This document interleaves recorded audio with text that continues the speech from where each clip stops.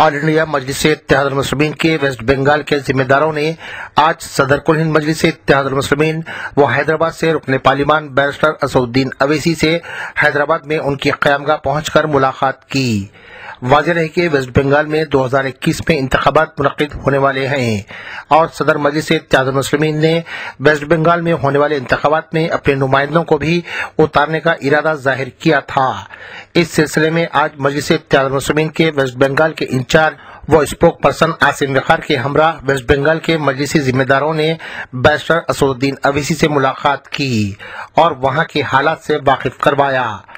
अब देखना ये होगा कि मजलिसी वफद के ख्याल से वाकिफ होने के बाद सदर मजलिस मुस्लिमीन बैरिस्टर असदुद्दीन अवैसी क्या फैसला लेते हैं?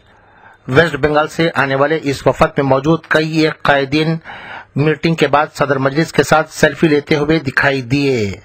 इस मौके पर वेस्ट बंगाल के वफद के हमरा, मजलिस के सबका मेयर व मौजूदा कॉरपोरेटर सैयद माजिद हुसैन भी मौजूद थे।